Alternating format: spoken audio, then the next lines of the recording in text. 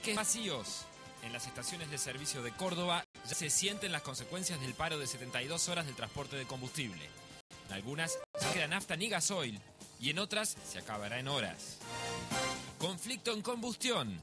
Los camioneros ratificaron la medida, a pesar de que el gobierno amenazó con aplicar la ley de abastecimiento y decretó la conciliación obligatoria. Pablo Moyano dijo que Vudú salió del sarcófago. Cumbre borrascosa. En la reunión del G20, el premier británico le pidió a Cristina Kirchner que acepte el resultado del referendo en Malvinas.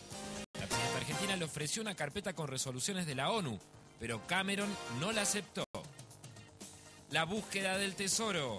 Faltan horas para la llegada del invierno y los que no tienen gas natural sufren aún más el frío.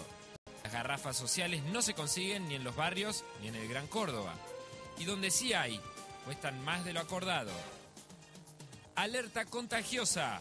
La gran cantidad de demanda por las enfermedades respiratorias no solo colapsó los hospitales, sino a sus empleados.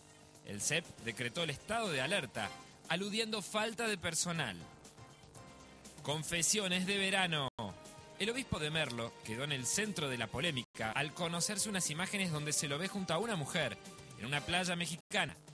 Monseñor Vargaló dijo que no era él, pero luego lo reconoció.